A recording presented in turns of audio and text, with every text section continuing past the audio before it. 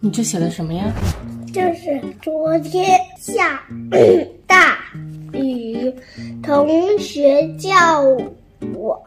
那天我刚好在吃饭，看到他在那比比划划的。我说你这写的什么呀？他说写的是今天发生的事情，还写了好多页。拍下来的这一篇写的是那一天他在放学的路上，他后面那个同学叫他，然后他回头了，那个同学又叫了他一次。他后面第二页还写了说我已经回头了，他还叫我，真的有点烦。我又翻了那本小本子看了一下，上面还有一些记仇的内容，挺童真的。他认字量很大，但是。我们从来没有教过他写字，毕竟还是中班嘛。他的脑子里面就是有这些字的印象，就把它写下来了，看着就很像象形字，我就觉得很可爱。